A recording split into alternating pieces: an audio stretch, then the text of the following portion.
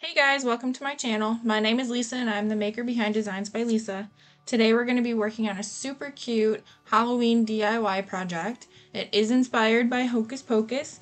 We will be making the Sanderson sisters and a spooky looking but yet cute cauldron to go with it. All of the materials that you're going to need for this project will be listed below. First, we're going to start with the pumpkins. I taped off the insides where the black parts were, and then I took them outside to spray paint them. The colors I'm using are gloss grape, sun yellow, and real orange. So, you don't have to be super precise for this step. You do want to get pretty good coverage though, and you don't have to spray paint your pumpkins. I did because I wanted them to be the colors of the Sanderson sisters. Make sure you get all the way around the pumpkin, but don't worry about the bottom. Next, we're going to take our pumpkins inside and just remove the tape. You can see that as I'm removing the tape, I'm kind of removing some of the black that was already on the pumpkins. Don't worry about that. I'm going to take care of that next. It is a step that you can skip if you want to, but some of my paint did bleed also, and I didn't really like that look. So like I said, since some of the paint bled and some of the other paint came off, I am going to paint the inside of the eyes and nose and mouth with some black acrylic paint. Again, this step is optional. You don't have to do this. I'm just a slight perfectionist and I want everything to look perfect. Uh, I am speeding through this part because it did take me quite a while. All you need is just some regular black acrylic paint and I used like an angled paintbrush because that helped me get into the little corners and everything and I got really good coverage with that.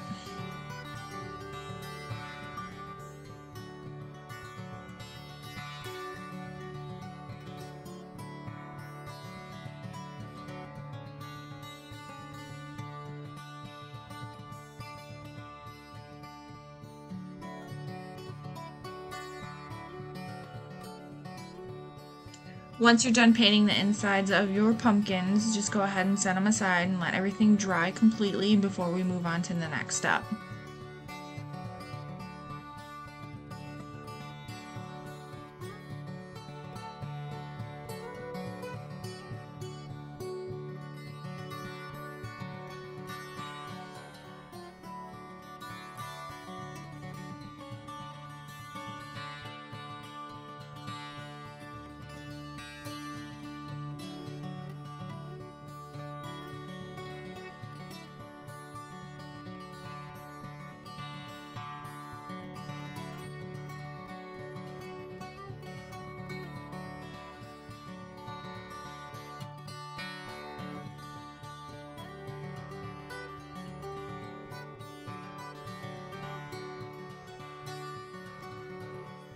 Okay, now we're going to move on to actually assembling our witches. So first you're going to start with your tomato cage. Just flip it over. You want the spiky sides pointing up. Take one of your pumpkins and, and remove the handle off of that pumpkin because it will get in the way. Here I am just attaching it with some hot glue, which I don't really recommend because after I got these outside and they sat in the sun, one of them actually did pop off and I had to kind of take it apart while it was still in my front yard and fix it. Um, if you do use hot glue, I recommend getting the super sticky Gorilla Glue. All I was just I was just using something from the dollar store. Was, it was cheap and yeah. So anyway, we're just gonna attach those pumpkins and then set them aside so they can dry for a little while. And then while that's drying, I'm going to put the trash bag on the other pumpkin and this is going to make it look like the body. So that pumpkin that we just glued onto the tomato cage is actually going to be like the upper body. And I am just cinching that around the middle there with some pipe cleaners that I got from the dollar store. And you can use whatever you want there. Um, zip ties probably would have been easier, but then I wouldn't have been able to take it apart so easily. So I just used what I had. This part doesn't have to be perfect, but you do want those corners to stick out because they will be arms later. Right now, all I am doing is just gluing the face pumpkins to the top of the other pumpkins. You do want to keep the handles on these ones because that's actually what the hat is going to sit on later on I do end up attaching those with hot glue anyway, so that's up to you. If you want to be able to take the hats off though, because I did put some lights inside the heads, uh, you, you probably want to attach it in a different manner. So here I am opening up another garbage bag and I am cutting it down all of the seams and I'm essentially cutting it into two pieces and then I'm taking one of those pieces and cutting that into two pieces lengthwise and then I attach one to one of the arms on the witch and then tied a knot in the middle so that looked like the hand and then I attached the other one to the other arm so it looked like they were holding hands and all I did was just use some more pipe cleaners there.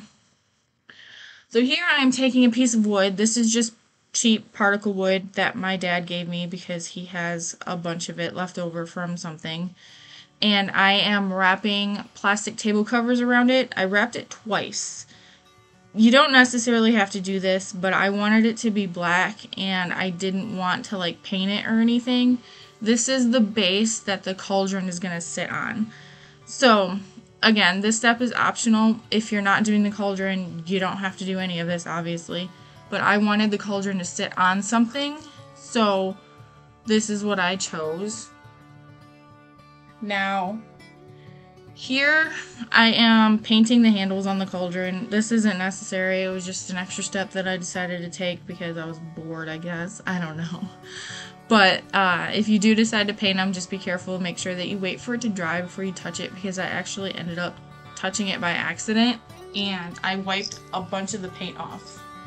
And just a heads up, if you keep hearing little bells in the background, my cats are being crazy right now, and one of them keeps jumping in my face while I'm doing this voiceover, so that's fun. So anyway, like I said, I am painting those handles. Don't be like me and rush through it because it was essentially a pointless step at the end because like I said, I, I wiped a lot of it off.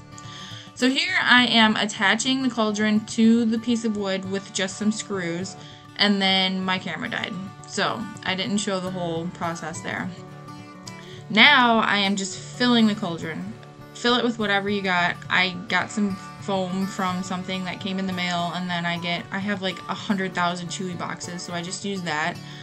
Fill it however you want. You don't have to fill it even. It would be really cool to put like a smoke machine in there and have like the smoke coming out. That would look really awesome. So, like I said, I just filled it. Now I am covering it with plastic bags that I flipped inside out to try to hide that label a little bit. Uh, I don't know why I put them on there first before gluing them down. I, I guess I was just trying to get a feel for what it would look like. But here I'm just hot gluing plastic bags to the top of that to kind of make it look fluffy, I guess. Um, I want the cauldron to look like it's bubbling so that's what I'm trying to do here. And like I said, I flipped those bags inside out. None of that was really necessary because I end up covering it anyway, but anyway. So I'm just gluing those bags down. It doesn't have to be perfect. I'm basically just trying to cover that box and make it look fluffy.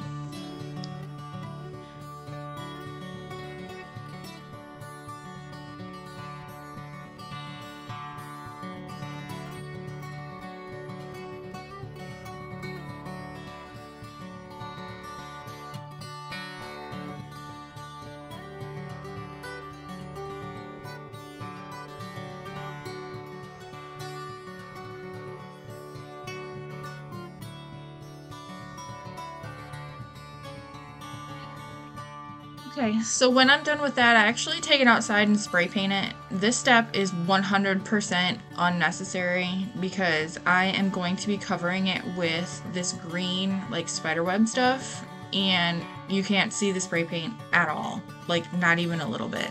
so it was totally pointless. And then you can see that I kind of put some of that, like, sparkly tinsel stuff on there. That was also pointless because you can't see that and I just got some twinkle lights from my Christmas tree stash. You, I, maybe you can. I could not find twinkle lights anywhere right now without paying a ton of money, and I just wasn't about that life. So, anyway, so I just put the twinkle lights on top. I kind of arranged it so it would be exactly where it needed to be when I took it outside to plug it in. And then now I am just covering it with that green spiderweb stuff. I got that stuff from the dollar store. Um, they had a ton of it right before Halloween, but I feel like every Halloween anything was sold out before it was even October. So I'm sure you can probably find it online also. If I can find it on Amazon, then I'll link it down below. I'm sure it's probably there. So I'm just kind of tucking it in and wrapping it around those lights, just trying to cover all those bags. I bought four packs, but I ended up only using three. Um, I probably could have put the last one on top, but I didn't want it to be too opaque because I do want those lights to kind of sparkle through. So that's just what I'm doing here. I do end up putting those those uh, spiders on it later. I hate spiders, so I wasn't planning on using them, but it kind of made it look cool. So here I am using, gl not glass, plastic clear ornaments that I got from the dollar store last year. Um, I, I did go to Dollar Tree a couple weeks ago and they were already putting out their Christmas stuff, so you might be able to find them now. Um, otherwise, Hobby Lobby probably has some. So these are just like smaller ornaments that I'm just gluing on there. And then in a minute here, I'm going to add some bigger ones too. I think these ones were considered large. And these, I just wanted them to look like bubbles. I wasn't really sure what it was going to look like, but it actually turned out pretty cool. Alright, so next I'm going to be wrapping some orange LED lights around the bottom of the, the cauldron there. I got them off Amazon.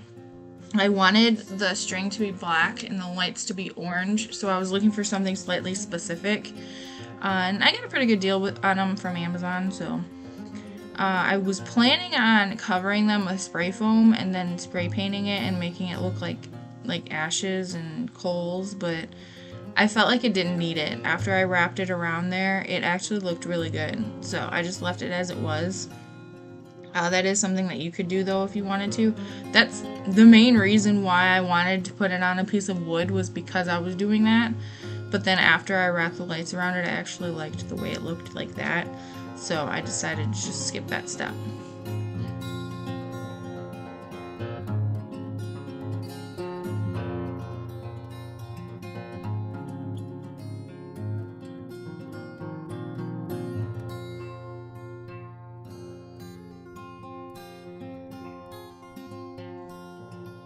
And here it is, all done. Uh, I'm really happy with this project. I love the way it turned out. Uh, if you have any questions, be sure to ask below in the comment section. Um, make sure that you follow us on all of our social media. We are on Facebook, Instagram, and TikTok. And subscribe if you haven't already. And I hope to see you again soon. Bye!